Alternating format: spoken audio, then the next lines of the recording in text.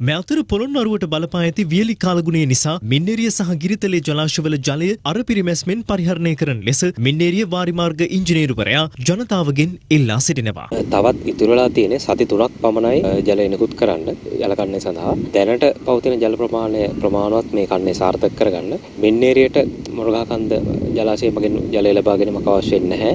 නමුත් ගිරිතලේ ජලාශය පවතින තත්ත්වය අනුව අතිපතාම ලබා ගැනීම අපි සිදු කරමු ලබනවා. ඒ සියලු ගොවීන්ගෙන් අපි ඉල්ලන්නේ සාර්ථකවම ඒ ජල කළමනාකරණය හොඳින් කරන්න. රටේ ලෝකෙ සිදුවන උණුසුම් පුවත් දැනගන්න සියත නිවුස් YouTube channel එක අදම subscribe කරන්න.